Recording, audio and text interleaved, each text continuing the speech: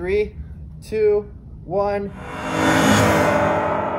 Hi, my name is Bryce. I'm a recreation program specialist here at the City of Fridley Parks and Recreation Department.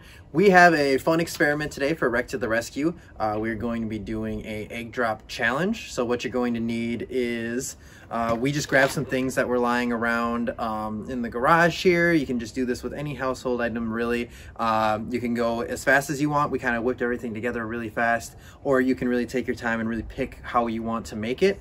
Um, what we're going to do is take these supplies here where I have egg carton. Have eggs. You can use a plastic egg if you want to save your regular eggs. Um, fill this with water or slime or whatever, and that'll do just fine. Uh, I have some sticks here, toilet paper tube, scissors, string, uh, different kinds of tape, paper, um, and some plastic. And that's what we're gonna use to make our um, our little machine here today that's going to keep our egg from breaking. So the objective of this is to wrap your egg in as much of this protective stuff as you can and then drop it off of uh, distance, uh, height, something like a deck or anywhere you can get kind of up high, but you want to be safe while doing this and see if the egg will survive. So we're gonna do that. We're gonna have a little time lapse here for you while I put together my little machine and then we're gonna drop it and see if it breaks. Uh, while doing this, it's important to remember to keep our social distancing guidelines. If anyone is around, you only wanna be around your family members. Throughout this process, you wanna be washing your hands uh, for at least 20 seconds and just making sure you're doing this activity as safely as you possibly can. So now we're gonna get started. We're gonna put together our egg drop.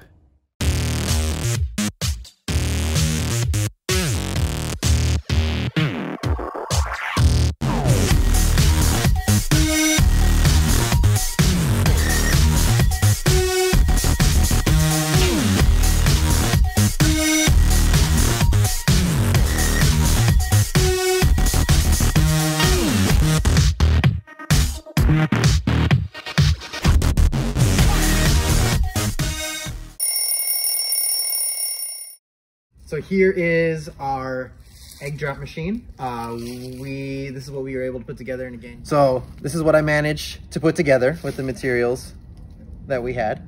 Uh, took a good 15 minutes. It's nice and pretty looking as you can see. So this is where we're gonna drop it off of. It's a good 10 foot drop. We're just gonna go up there and safely just reach over to the side and let go and see if our egg breaks.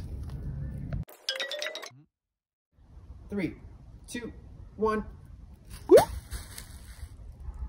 Three, two, one.